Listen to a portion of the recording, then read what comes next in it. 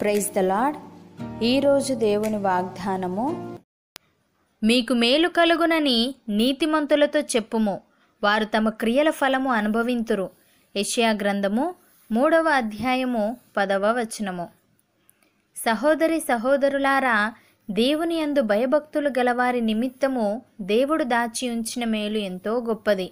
నరుల ఎదుట ఆయనను ఆశ్రయించువారి నిమిత్తము ఆయన సిద్ధపరిచిన మేలు ఎంతో గొప్పది. భక్తుడు ఈ విధంగా అంటున్నాడు యహోవ మార్గములను నేను అనుసరించుచున్నాను.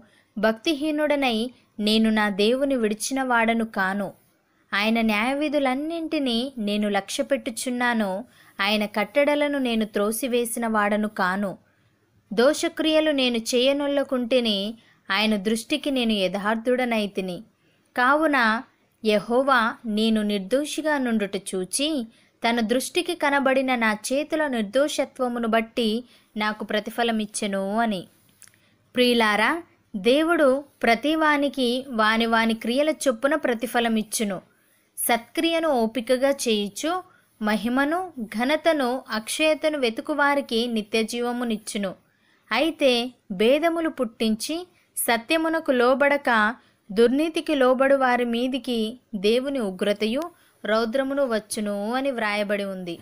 సహోదరి సహోదరులారా మోసపోకుడి దేవుడు వెక్కిరింపబడడు.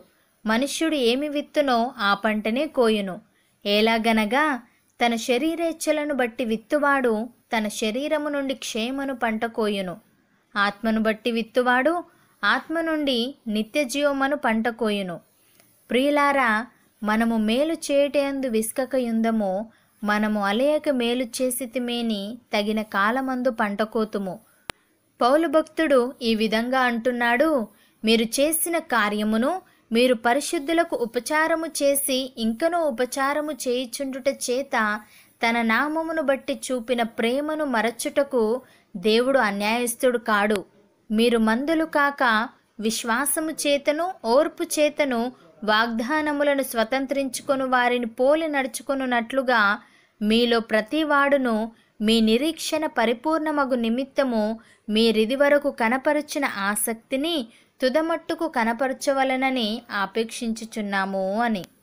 సహోదరి సహోదరులారా మనము వెలిచూపు వలన కాక విశ్వాసము వలననే నడుచుకొనుచున్నాము. కనుక ఈ దేహములో నివసించుచున్నంత కాలము ప్రభువునకు దూరముగా ఉన్నామని ఎరిగియుండియు ఎల్లప్పుడూ ధైర్యము గలవారమై ఉన్నాము.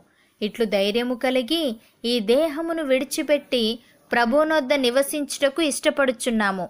కావున దేహమందున్నను దేహమును విడిచినను ఆయనకిష్టులమై ఉండవలెనని మిగుల ఆపేక్షించుచున్నాము. ఎందుకనగా తాను జరిగించిన క్రియల చొప్పున అవి మంచివైనను సరే చెడ్డవైనను సరే దేహముతో జరిగించిన వాటి ఫలమును ప్రతివాడును పొందునట్లు మనమందరమును క్రీస్తు న్యాయపీఠం ఎదుట ప్రత్యక్షము కావలయును.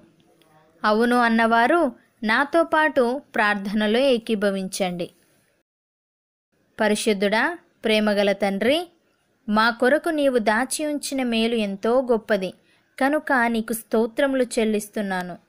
మేము నీ యందు భయభక్తులు కలిగి నీ కట్టడలను అనుసరించి నడిచేవారముగా ఉండుటకు సహాయము దయచేయమని నీవు మాకిచ్చిన ప్రతి వాగ్దానాన్ని మా జీవితంలో మేము స్వతంత్రించుకొనుటకు కృప చూపమని యేసుక్రీస్తు నామమున ప్రార్థిస్తున్నాము తండ్రి. ఆమెన్.